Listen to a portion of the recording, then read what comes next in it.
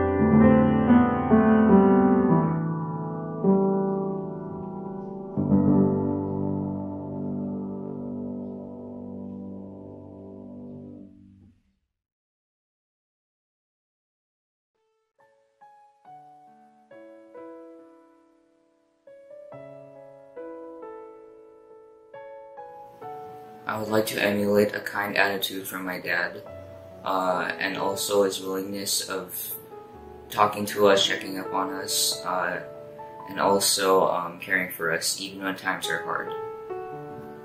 And that's what I appreciate about my dad. And happy Father's Day. We grew up spending most of our every day with Papa, be it at home or in school. I saw him as a quick thinker and he has the ability to quickly make strategies for problems that need solutions at home, in cars, in anything. He would always remind us to never turn away from the Lord, serve him and always thank God for all he has blessed us with. Happy Father's Day! I would like to do things wholeheartedly like my dad.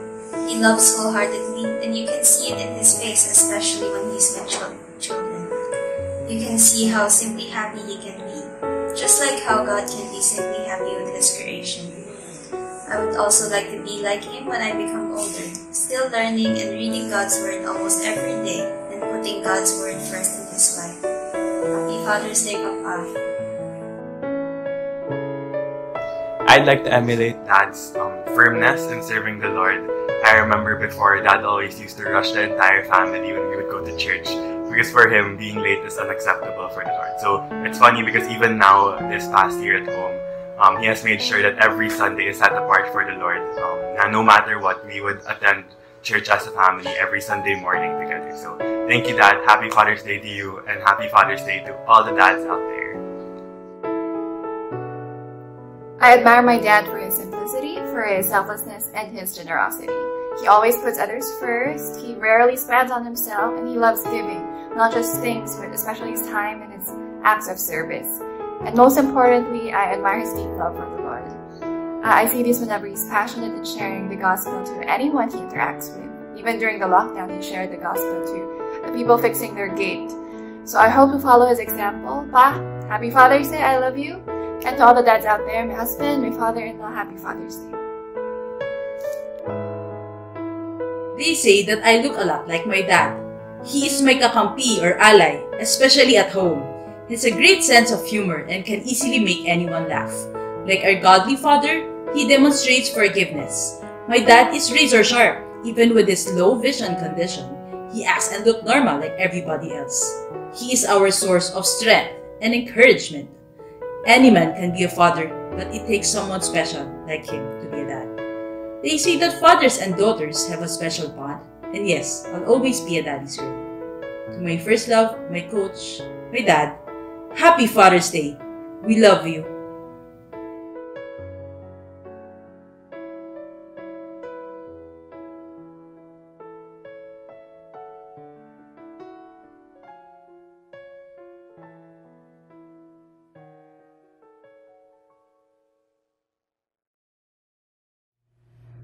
Once again, happy Father's Day to all the dads watching this. Thank you to our worship leader, Sister Bev, for that wonderful song. Thank you also to all those children who shared their video greetings to some of the dads in our church family. Our theme for this year is Discipling the Nations, Finishing the Mission. Now, how does discipleship look like in the family, in the home? What role does a father have in discipling his children as he meet their real needs? I believe the best person to answer those questions is someone who is a real life father. With four kids of his own, our guest speaker for today is more than qualified as he really knows what it means to be a father. I believe we will all be blessed by his message and his testimony, so let us now welcome my dear friend and brother in Christ, Pastor Donn Manalese. A blessed morning, everyone. On behalf of Crossroads Ministries, I'd like to start off by thanking your church and your leadership for your continuous partnership in the ministry. Your prayers and support have been instrumental as we minister to people in our church planting ministry. Now, it has been more than a year since I've had the privilege of speaking in front of you. And since that time, I'm sure you're all agree that many things have changed. The fact that I'm giving this message online instead of on site just shows us that a lot of things are not what they used to be. But still, one thing remains the same, and that is the truth that our God never changes. Whatever season of life we may be in, we can always be confident that He is dependable and we can always trust Him. And as we celebrate Father's Day today, it's good to be reminded how our Heavenly Father is still the best example of what fatherhood is all about. With that said, allow me now to greet each dad listening to this message a blessed Father's Day. Indeed, we cannot emphasize enough how vital fathers are to every household. Fathers have the God given responsibility to lead and protect the family. And being a dad myself, I can think of a more challenging role than that of being a father to my kids. Uh, speaking of my kids, let me share a recent photo of my children. As you can see, I have four adorable kids. And next to Jesus Christ and the Holy Spirit, I consider my family as God's most precious gift. And like any normal dad, I am committed to do everything I can to serve my family, even if it entails hard work and sacrifice. This reminds me of what happened one hot summer night just a few weeks ago. It was around 11 p.m. and I was in front of my computer preparing for this particular sermon when the electricity in our house suddenly went out. Upon verification, we eventually found out that there was a scheduled 5 hour power interruption in our area caused by some maintenance work. This means that we won't have electricity until 4 a.m. Now, normally this shouldn't be a big deal. Anyway, it's already late in the evening and most people can just sleep the night away. But as you all know, the summer heat last month was quite intense. Even with all our windows already open and all our kids were asleep, they were profusely sweating and were having a hard time uh, sleeping. And so I did what any normal dad would do. I started to fan my kids to sleep. Pinaypayan ko sila para lang makatulog sila ng maayos. Since we weren't prepared for the brownout, I just used two hardened placemats that looked like this and used them to fan my kids. Now for the first 15 minutes, okay lang naman. Eh. It was fine. The idea seemed to work and the kids didn't wake up. After 30 minutes, my shirt was already soaked in sweat. After an hour of fanning, I was already begging God for a miracle. Whether it's in the form of the electricity immediately coming back, or a cool summer breeze for the rest of the evening, or supernatural strength na lang nga so I can sustain what I'm doing until 4 a.m. In God's grace, the electricity finally came back around 2 a.m. and we all could finally enjoy a good night's sleep. Now, obviously, my 3R experience the other night with our kids is just a minute sample size of what fathers do for their families. After all, fathers have the God given responsibility to serve their families. The desire to provide for the needs of our kids are deeply ingrained in us. We constantly think of how to ensure the best future for our kids, especially during this pandemic. Which got me wondering are we really doing enough as fathers to provide for the real needs of our kids? I mean, are we doing everything we can to prepare them for the future? You and I know that life is really short. In fact, I wouldn't be surprised if each of us here knows of someone who recently passed away due to COVID 19. Like it or not, life can be taken from us at any moment. Have we done enough to prepare our kids for the future? Are we doing everything we can to provide for their real needs. Now, I do have to clarify that when I say real needs, I'm not just referring to the physical needs of our kids. While those are definitely important, we need to remember that our kids have way bigger needs. You see, the most important needs of our kids have to do with their spiritual needs. As fathers, it is our responsibility to do everything we can to ensure that our children have the best future in front of them. And this goes way beyond desiring a great education, promising career, or a comfortable life for our kids. I'm talking about doing everything in our ability to make sure that our kids spend eternity with Jesus and enjoy Him forever. I'm talking about doing everything humanly possible so that our kids make Jesus their number one priority and their highest treasure. Because at the end of the day, all the achievements and treasures of the world would count for nothing if our children fail to make Jesus as the true center of their lives. All the achievements and treasures of the world will amount to nothing if our kids don't have Jesus in their lives. Unfortunately, many of us fail to realize how crucial the role of the father is in the family and in meeting the kids' greatest needs. In 1994, there was a study made to assess whether a person's faith carried through the next generation. And the result was extremely revealing. The results show that even with or without the mother's devotion, it is really the father's faith that has more impact on their kids. Apparently, if the dad takes faith in God seriously, then the message to their children is that God should be taken seriously.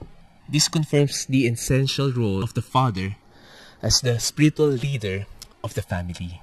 Now, at this point, you might be wondering how exactly can fathers fulfill this role of leading the family spiritually? Especially now that we are unable to go to church. Hindi naman tayo nakakapunta ng simbahan, di ba? Eh, enough na ba if our kids see their fathers watch the live stream of our church's weekly church service? Or are there other things expected from dads to ensure that our kids grow up in the fear and love of our God? And if there are, what are these? Given that fathers already have a lot on their plate, like earning a living for the family, how exactly will they be able to meet these expectations? In the event that you forget the rest of what I say today, I hope you can remember this simple phrase. To meet our kids' greatest needs, we need to start discipling our kids. Can we all say that together? To meet our children's greatest needs, we need to start discipling our kids. Oh, just to make sure that we have an alignment on what discipling means, it's good to have a working definition. Basically, discipling is the process of helping others become truly committed followers of God. And so, discipling our kids is to help them truly know, truly love, and truly obey God. Now, I know I've been specifically addressing the fathers this morning. However, this doesn't mean that the rest of you who aren't dads are free to take a break and pause this video. Truth is, our message today applies to all parents, grandparents, single parents, and future parents. And for all the ladies, it's also crucial that you give the proper support to the men in your household in fulfilling their God given mandate and calling. You see, as one church, it's crucial that we understand God's original design on how to ensure that our future generations will continue to walk with Him. To meet our children's greatest needs, we need to start discipling our kids. The greatest needs of our kids are their spiritual needs. Why don't we all read our passage for this morning, found in Deuteronomy 6, verses 4 to 9? Let's read this together. Hear, O Israel, the Lord our God, the Lord is one. You shall love the Lord your God with all your heart, with all your soul, and with all your might. And these words that I command you today shall be on your heart. You shall teach them diligently to your children, and shall talk of them when you sit in your house, and when you walk by the way, and when you lie down, and when you rise. You shall bind them as a sign on your hand, and they shall be as frontlets between your eyes. You shall write them on the doorpost of your house and on your gates. Now, this is probably the most popular Bible passage for Jews. You see, for the Jews, they know this as the Shema. Shema is the Hebrew word for hear, which obviously is the first word in verse 4. For the Jews, the Shema is regarded as the most important prayer in their faith and were prayed multiple times a day. Now, obviously, we are not Jews, and nowhere in the Bible are believers required to pray a certain type of prayer repeatedly. But it's good to understand what's important about these verses and how these timeless truths are also applicable to believers today. You see, the book of Deuteronomy is like one long sermon given by the prophet Moses before his death. The group of people Moses was speaking to in Deuteronomy is not the same group of adults that came out of Egypt. The previous generation of Israelites repeatedly dishonored and disobeyed God, and as a consequence of their hard heartedness, the entire generation who listened to the ten spies was made to wander around the desert for 40 long years. And except for Joshua and Caleb, the only two men who listened to God, that entire generation was forbidden to enter the promised land and died in the wilderness. By the time Moses gave this sermon in Deuteronomy, he was speaking to a new generation of Israelites. And Moses' earnest plea was for God's people to make sure that they do it right this time. And doing it right this time means making disciples of the next generation a priority. Same thing is true for us today. If we are to make things right this time, we need to prioritize discipling the next generation. Which leads us back to our question earlier. How exactly do we disciple the next generation? Well, in order to disciple the next generation, discipleship must start with us. Discipleship must start with us. Let's read again Deuteronomy 6, verses 4 to 6. Hear, O Israel, the Lord our God, the Lord is one. You shall love the Lord your God with all your heart, and with all your soul, and with all your might. At the risk of sounding like a broken record, let me ask you once more who was Moses talking to in this passage? Moses was speaking to the next generation of Israelites, but they were no longer kids. They were a new generation of adults who have their own kids.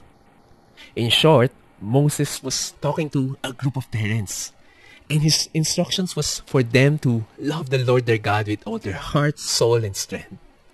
And I find that very interesting. You see, when people think of discipling the next generation, we normally start with a child our tendency is to focus on what needs to be done with our kids for them to grow spiritually.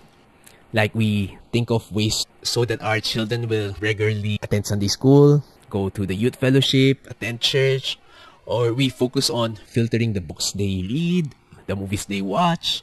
We want them to manage their time wisely, not to waste their time on games, Facebook, and we want them to read the Bible.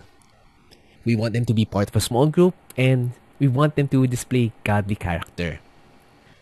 But when we start with the child, we are already beginning at the wrong place. Because discipleship all starts with our own relationship with God. That's our number one priority. And here's why. Because we cannot expect our children, our teenagers, our grandkids to do something that we ourselves are not modeling and living out.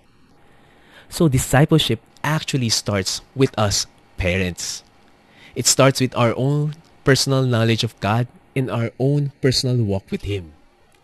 Moses wanted the new generation of Hebrew parents to know this fact before they enter the promised land. If they are to fulfill God's purpose and ensure the next generation will walk closely with God, then it must start with them. And this is not just an Old Testament command that is reserved for Jews. Let's look at what Jesus has to say in Matthew 22, verses 35 to 38. Verse 35 And one of them, a lawyer, asked Jesus a question, testing him Teacher, which is the great commandment in the law? And he said to him, You shall love the Lord your God with all your heart and with all your soul and with all your mind. This is the great and foremost commandment. Jesus, when asked what was the greatest command, he essentially repeated the words of Moses in Deuteronomy 6. All the commands in the Bible are summarized in this statement. Obey this one command, and everything else will be naturally obeyed. And to this day, all followers of Christ are expected to fulfill this command to love Him. Moses and Jesus were basically saying is that we should love God with our entire being. We are to devote to God all our affections, all our thoughts, all our energies, all our lives. The whole totality and not just a part of ourselves. We can't say we've obeyed this command if there is still a part of us that is not yet fully submitted to Him. Now, if that sounds like asking a lot, that's because it is a lot. All throughout scriptures, we're shown that God isn't after half hearted followers. People who will honor Him only when they feel convenient or when it's comfortable. God wants fully committed followers who will give absolutely everything for Him. After all, He is worthy of just that.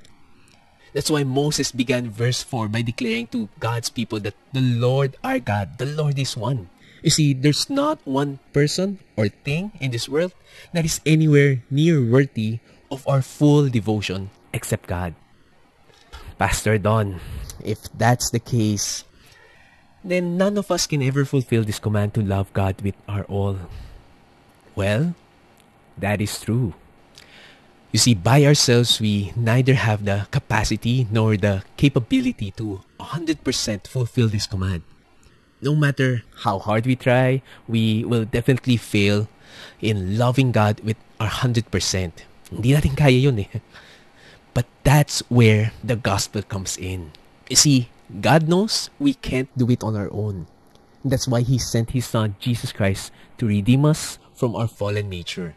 And the good news is, if you have truly placed your trust in Jesus Christ, God imputes the righteousness of Christ in you. And God credits Jesus' perfection in those who truly believe in Him. His Holy Spirit, who now resides in every believer, supernaturally enables us to love Him as we should. God not only showed us what is love, you see, His Holy Spirit also enables us to love Him back.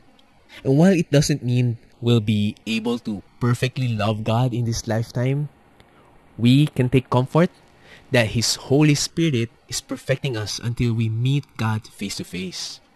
Our role is to respond to God's nature and to His love by loving Him with our whole being. And as parents, loving God certainly involves our time, our talents, and our treasures. You see, we can't expect our kids to devote their time, talents, and treasure to the Lord if we ourselves are too busy for God, or too preoccupied to serve, or too focused on worldly things, not on the Lord. Especially now that many of us work from home, our kids can see almost everything we do. Wala tayong matatago eh. They see that we have time for work, for phone calls, for Facebook, for YouTube, for Netflix. But how often do they really see us spend time with the Lord? Do they see us read our Bibles from Mondays to Saturdays and not just on Sundays? Do we personally carve out time to really talk to God and commune with Him? Do we set aside our Sunday morning to actively participate in congregational worship? Or do our kids witness us looking bored and even multitasking whenever we worship online? At the same time, we have to ask ourselves when was the last time our children witness us volunteer our abilities to help out in God's work? Do our kids see us more concerned in building our own empire instead of expanding God's kingdom? In terms of our finances, how exactly are we handling the money God has entrusted to us? Are we investing our fortune for personal gain? Or are we truly storing our treasures in heaven? If we are to disciple the next generation, we, as parents and adults, need to truly love God with our entire being. And this goes beyond being active in church. We can appear like a super Christian, but our kids know the real us. They can easily discern if we are sincere or being hypocritical. They see us in our homes, unguarded and unfiltered. They observe how we respond to everyday temptations, conflicts, and challenges of life. You see, our kids don't need a man centered religiosity. What they need to see is our authentic relationship with God, one that yields fruits in our lives, and one they would want for themselves.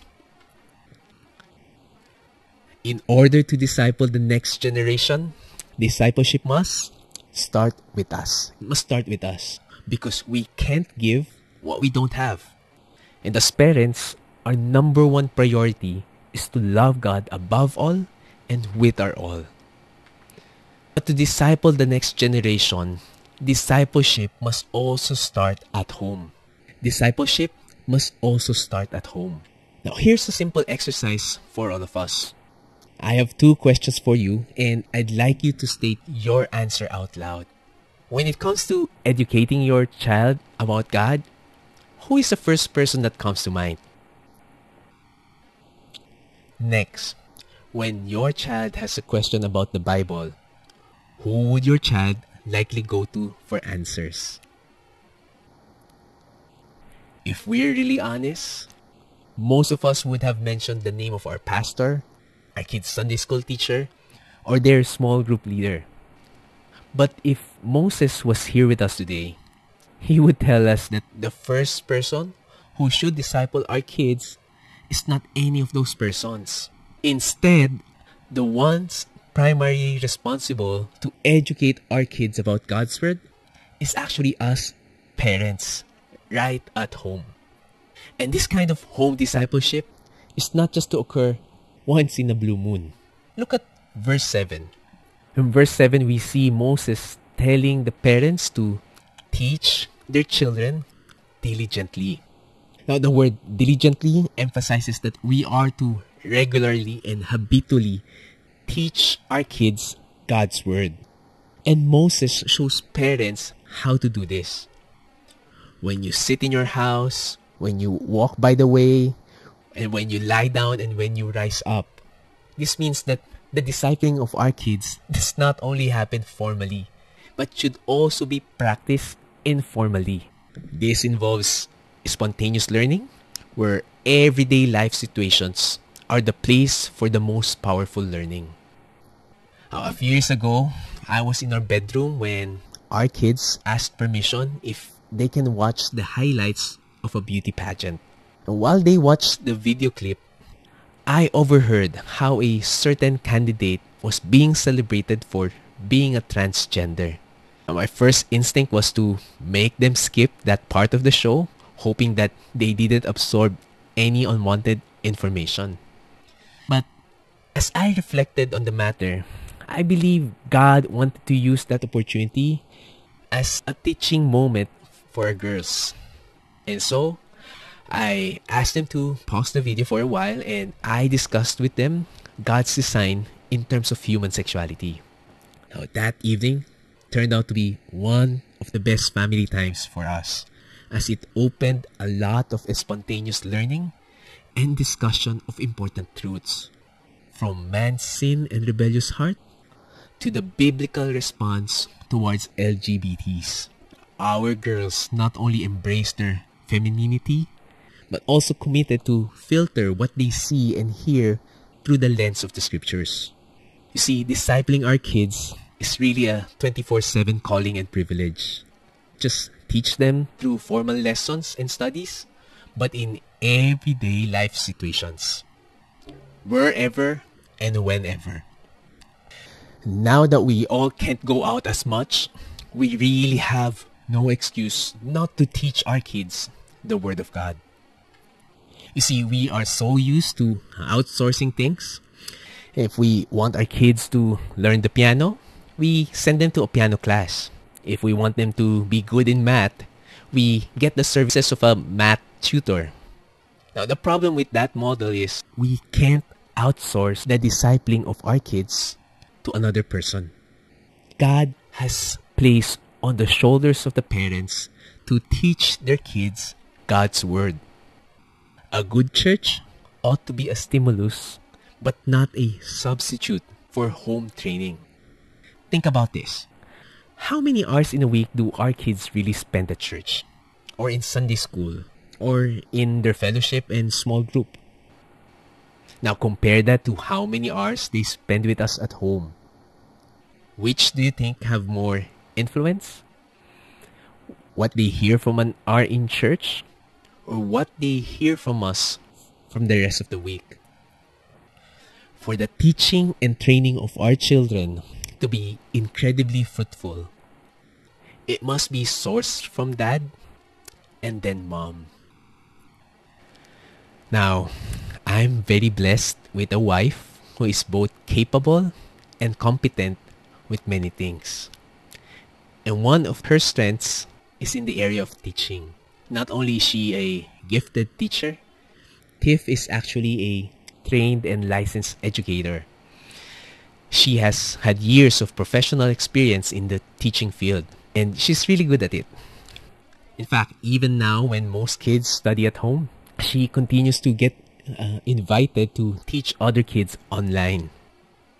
However, when it comes to teaching and training our own kids about God's truths, everyone in our household knows that I take that lead. Not because I'm a pastor or I'm more skilled in teaching kids, but because as the father of the household, God has appointed me as the main discipler of our family. My kids are my small group members. Look at what the Apostle Paul has to say about the role of dads in Ephesians 6, verse 4. Fathers, do not provoke your children to anger, but bring them up in the discipline and instruction of the Lord. Fathers, God has given us the primary role of discipling our kids. Our wives may be our assistant small group leaders and she can be of help, but we can never abdicate on our role as the spiritual leader of the family. We should neither outsource nor delegate our duty of bringing up our kids in the discipline and instruction of the Lord. For us to discuss the Word of God with our children, we must, of course, first know the Scriptures. And we can only know them by first consuming them. And this is why Moses tells the Israelites in verse 8 You shall bind them as a sign on your hand, and they shall be as frontlets between your eyes. You shall write them on your doorposts and on your gates. Now, some Jews have and still do take these verses literally. They have little boxes containing Old Testament verses attached to their door frames and or fastened to their arms or foreheads. But God's intent in this passage was symbolic. He intended for his audience to hear the scripture and see the scripture lived out everywhere. Moses was essentially saying, Do whatever you need to keep God's word in your mind and heart. From the most personal aspect of your bedroom doors to the most public aspect of your community life, God's commands should become the habit of everyday life. You see, the goal is not simply for us and our family to read the Bible regularly. The goal is to be fully saturated with God's Word. Truth is, as I look back at the past year and a half, there were a lot of wonderful things that transpired inside our home, in spite of the pandemic. For starters, my wife and I had exponentially more time with our kids. While we always had time for and with them before, the new work from home arrangement allowed us to be physically together with our kids for majority of the time. And because we are mostly at home, the kids have a better idea on how our day really goes. And it all starts with my personal quiet time in the morning. I would begin each day communing with God through prayer and the study of His Word. Now, this photo was taken last year when my then six year old daughter saw me reading my Bible and asked how she can also start the habit of having a personal time with the Lord. You see, we've always read Bible stories with her from her kiddie Bible.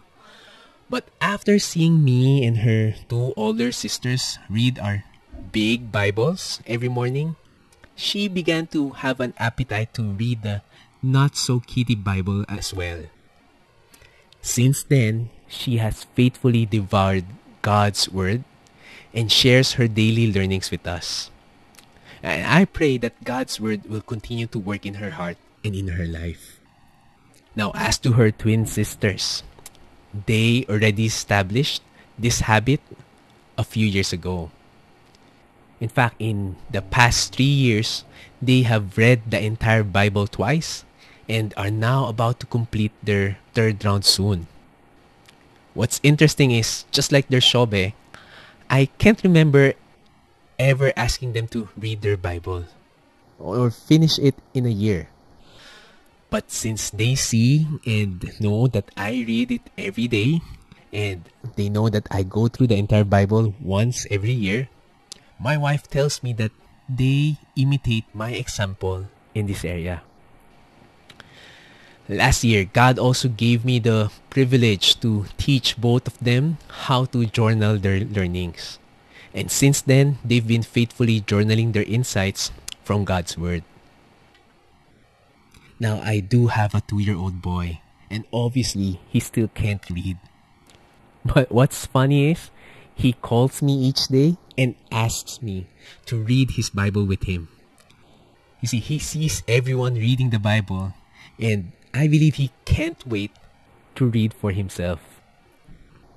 Now, another highlight I have last year was when God allowed me to initiate our family sharing time. Uh, think of it as a small group meeting, but we gather every night during dinner. We each have a turn sharing our Thanksgiving items for the day, the sins we committed, what we appreciate about each other, and what we learned from the Bible that day. Afterwards, the family member in charge for the day would read a devotional story, and then we'd process the lesson together and recite the key verse for that day. Lately, we've also been using an app called Operation World, where we learn about how we can pray for different countries and their needs. We wrap things up by singing a worship song together and assigning a person to pray for all the prayer items that day. Now, our prayer items can come in all shapes and sizes. From our country and government needs to family members and relatives, people who are sick, uh, struggling, our personal concerns, my preaching responsibilities, the ministry we started, lahat-lahat na. The nice thing about this is that we all look forward to this part of the day, including the kids. Hindi sila pilit. Our day isn't complete when we don't have this bonding time. In order to disciple the next generation, discipleship must start with us. Because we can't give what we don't have. As parents, our number one priority is to love God above all and with our all.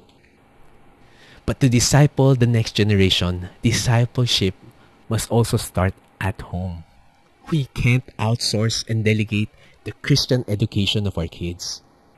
As parents, we have the primary responsibility to train our children in God's Word. My prayer is that when our kids need to clarify matters about the faith, the first person they will think of is their parents especially us fathers. I pray that we will model a genuine and wholehearted love for God that they themselves would want to have. I pray that we develop the habit of intentionally and diligently teaching them God's truths. After all, all the achievements and treasures of this world will count for nothing if our children fail to put Jesus at the center of their lives. As fathers, we have the God given responsibility to provide for our kids' greatest needs. And the greatest needs of our kids are their spiritual needs. To meet our children's greatest needs, we need to start discipling our kids. Starting with us and starting at home. Happy Father's Day.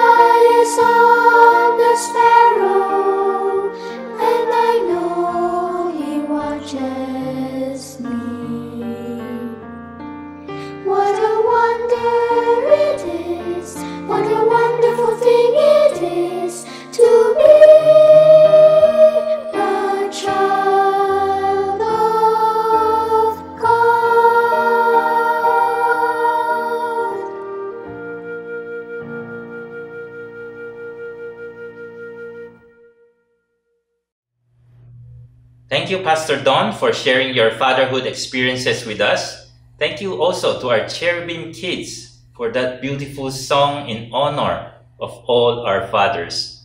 Right now, we will take some time to pray a prayer of blessing over the dads in our church family, as well as all the dads who are watching this right now. If you are currently a father, a grandfather, or a spiritual father to someone, or you desire to be a father someday, we would like to pray for you. For those who are with your dad right now, or there's a father in your home, I want you to surround the fathers in your family. You can extend or lay your hands over them as we pray. To my father, without whom I will not be who I am today, I love you. Thank you for all your sacrifice. To all my spiritual fathers, thank you for being my role model and for surrounding me with your prayers and with your advice. Shall we pray? On this special day that we get to celebrate the love of fathers, what a comforting thought it is to know that the God of all the universe is also our Heavenly Father. A Father who is good, a Father who has our best interest in mind, a Father who knows our name, who knows the number of strand of hair that falls from our head. A Father who holds us in the palm of His hands. An Abba Father who knows our every thought, fulfills our every need, understands our every struggle, assures us in our every fear, identifies with us in our every sorrow, and celebrates with us in our every victory. A Father who knows every pain that we go through, every sorrow that we bear, every tear that we shed, every brokenness that we suffer. And what is amazing is that you do not only know, you understand because you have walked among us and you have gone through every emotion that we have gone through. You know everything and yet you still love us as our Father. And you did something. You gave your one and only Son, Jesus Christ, so that we might become your sons and daughters. We give our thanks, Creator God, for the fathers in our lives. Thank you for the unique calling you have given to them to allow us to see what your love looks like in our world. We ask for your blessings upon every father this morning. I pray that each father would step up boldly into the anointing that you have called them to. May you help them fulfill their God ordained position of leadership as head of their family. May they rise up courageously to lead their wives and their children into a deeper spiritual knowledge and understanding of their Savior and Lord Jesus Christ. We ask for wisdom for them in raising up godly children. Give them the strength also to do so. We thank you for faithful husbands and fathers in our midst. This Father's Day, we remember the many sacrifices they made for their children and for their families, and the ways both big and small, that they do to lift their children to achieve their dreams. We also remember those who have helped fill the void when fathers pass on early or are absent. Grandfathers, uncles, brothers and cousins, teachers, pastors, and spiritual fathers.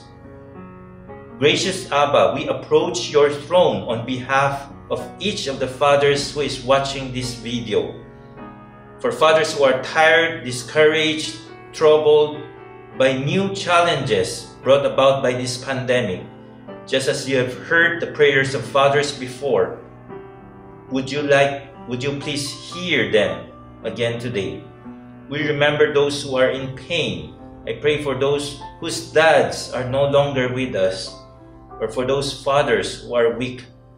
May you release healing and comfort upon them for those faithful fathers who are raising their children in your footsteps, we ask for strength and wisdom in the task of parenting and discipling their kids. Give new and future fathers the guidance they need to raise godly children. May each father be granted your special blessing and favor for the many times they reflected the love, strength, generosity, wisdom, and mercy that you exemplify that you exemplify in your relationship with us, your children. May all of the work of their hands not be forgotten in your sight.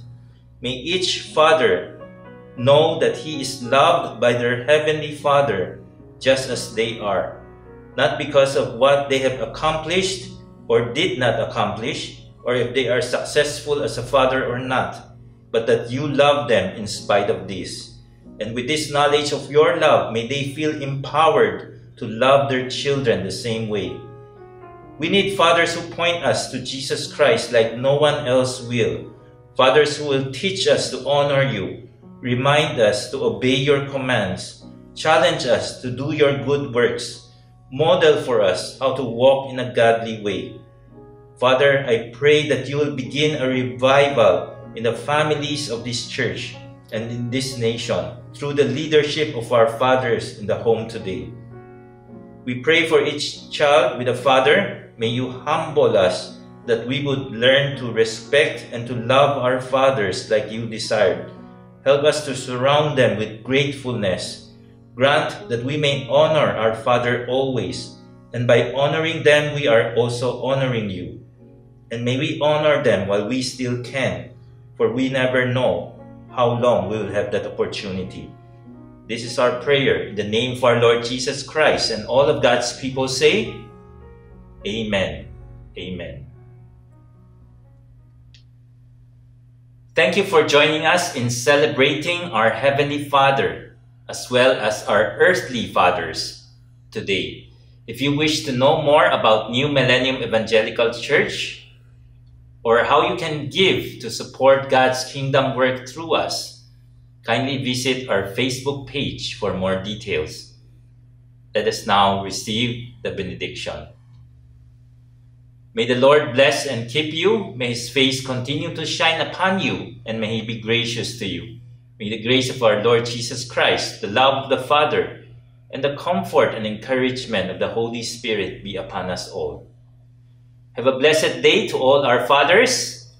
Remember, the best is yet to come.